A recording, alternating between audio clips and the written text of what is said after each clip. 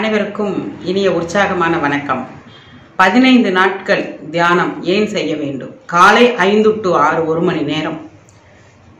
நல்ல ஒரு தூங்கி எந்திரிக்கும் பொழுது மூளை நல்லா சுறுசுறுப்பாக இயங்குங்க. தசை உடம்பு ஆன்மா உயிர் ஜீவன் எல்லாம் ஒரே நேர்கோட்டில் இருக்கிற நேரம். அந்த நாலு டு ஆறு. அந்த நேரத்தை தான் பிரம்ம முகூர்த்தம்னு சொல்கிறோம் ஏன் பிரம்ம முகூர்த்தம் தான் படைப்பின் ஆதிக்கம் பிரம்மனிடம் இருக்கிறது தலையெழுத்து. இந்த தலையெழுத்தை மாத்தி எழுதுற நேரம் நாலு டு ஆறு. அது யார் எழுதுனா எழுத முடியும் மாத்தி? நம்ம உள் பயணம் செய்யும் பொழுது அதை மாத்தி எழுத முடியும். அந்த பிரம்ம முகூர்த்தத்துல ஒரு விஷயத்தை ஒரு ஆன்மீக ரீதியா ஒரு தியானத்தை ஒரு பயிற்சியை ஆழமான சத்தியமான ஞான கருத்துக்களை ஞானிகள் சொன்ன கருத்துக்களை உள்வாங்கி அது உள்ளுக்குள்ள போய் வேலை செய்யும் பொழுது தலையெழுத்து மாறும். கர்ம வினை குறையும். ஆரோக்கியம் கிடைக்கும். பொருளாதாரத்தில் முன்னேற்றம் வரும்.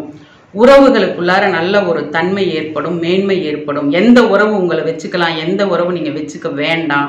ஒதுங்கிறது எது சேர்றது எது உங்களுக்கு என்ன நல்லது நடக்கணும் இது எல்லாமே டிசைன் ஆகிற நேரம். அப்போ அந்த நேரம் ஒரு பதினஞ்சு நாள் ஒரு மணி நேரம் நீங்கள் உள்ளே வந்து கற்றுக்கிட்டீங்கன்னா வெளி சூழல் வெளியில் நடக்கிற சூழல் எப்படியெல்லாம் இருக்குது எவ்வளோ துரோகம் இருக்குது எவ்வளோ அவமானம் இருக்கு எவ்வளோ நஷ்டங்கள் இருக்கு ஆரோக்கிய குறைபாடு இருக்கு பொருளாதாரத்துல பின்தங்கி இருக்கிறோம் ஒரு தொழில் அமைய மாட்டேங்குது ஒரு திருமணம் தடையா இருக்கு ஒரு குழந்தை பேரு மிக தடையா இருக்கு எவ்வளவு தடைகள் இருக்கு வெளியில.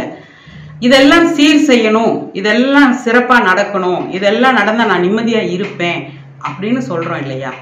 அந்த சூழல் உங்களுக்கு மாறணும் தானே? எனக்கு மாறி இருக்கே. இந்த பயிற்சியின் மூலமாக என்னால் ஆணைத்தரமாக உறுதியாக ஒரு ஸ்ட்ராங்காக சொல்ல முடியும். மாறி இருக்குது அப்படிங்கிற ஒரு விஷயத்த.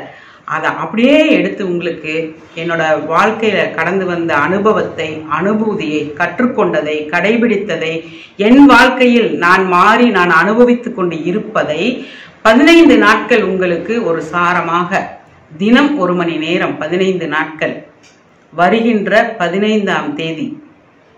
பதினைந்து நாட்கள் தினமும் காலை ஐந்து டு ஆறு ஒரு மணி நேரம் நீங்கள் வந்து இது என்னங்கிறத கத்துக்கோங்க.